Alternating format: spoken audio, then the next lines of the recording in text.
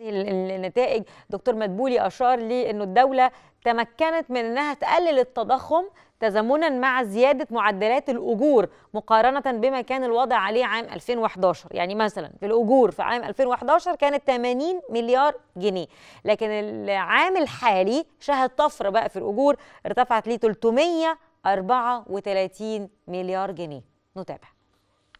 إن الدولة انتهجت في آخر فترة برضو زيادة الأجور لكل العاملين سواء في القطاع الحكومي أو حتى القطاع الخاص. كنا بنشجع على موضوع الزيادة ولكن صاحب والأول مرة ده بيحصل إن زيادة الأجور الدولة الأول مرة معاه استطاعت كبح جماح التضخم.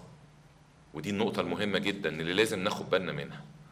إحنا في 2011 بعد 2011 وكان هناك مطالب فئوية في هذا الوقت ارفعوا لنا الأجور وزدنا في الأجور. عشان بس حضراتكم نبقى عارفين. قبل 2011 كان قيمة الأجور اللي بتحصل في الدولة كلها 80 مليار. إحنا هذا العام 334 مليار. حصل طفرة كبيرة نتيجة للمطالب المواطنين وده كان يعني ليهم كل الحق. بعد 2011 عايزين إن إحنا نزود عايزين نحسن دخولنا.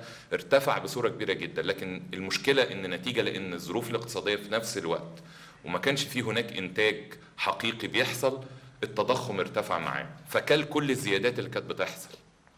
لكن لأول مرة النهارده إن بيحصل زيادة في المعدل في الأجور وبيقابلها في نفس الوقت انخفاض التضخم فبدأ المواطن يحس بجد إن عنده تحسن حقيقي في دخله لأول مرة من